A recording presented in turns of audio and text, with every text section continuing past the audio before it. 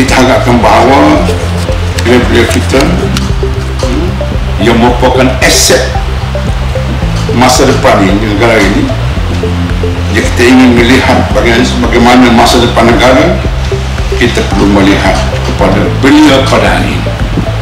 Kita tahu bahawa anak belia kita adalah merupakan aset yang sangat penting hmm, untuk masa depan negara.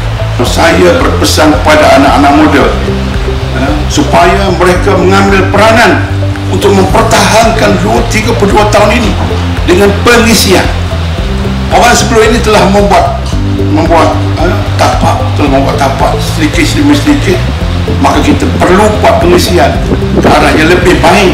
Mesti ini hanya asas anak-anak muda mesti mengisi mesti sayangkan mesti mempertahankan tapak membangun bersama Islam ini ataupun memerayakan membangun bersama Islam ini yang paling penting sekali anak muda kita yang bermaruah uh, yang berakhlak dan mempunyai kesedaran untuk membela bangsa, negara dan agama.